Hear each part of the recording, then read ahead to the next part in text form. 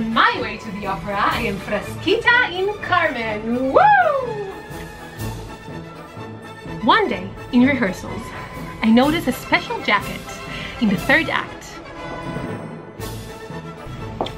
This jacket has been coating Frasquitas from around the world for the past 20 years.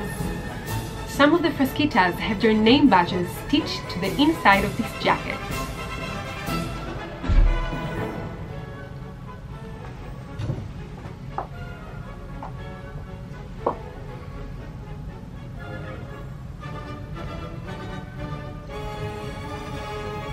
This jacket made me wonder what the Frasquitas before me experienced on this production.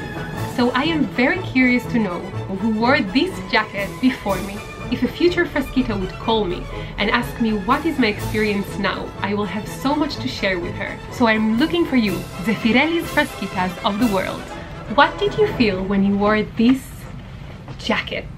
Please share this video so it will get to as many Frasquitas as possible. Let's create a community of singers that share experiences with each other, that connect and support one another. טוק טוק. הנה, גם אללה רוצה להיות בווידאו. רוצה לבוא? Hi guys! Thank, you for watching and spreading goodness! Woo! Remember this?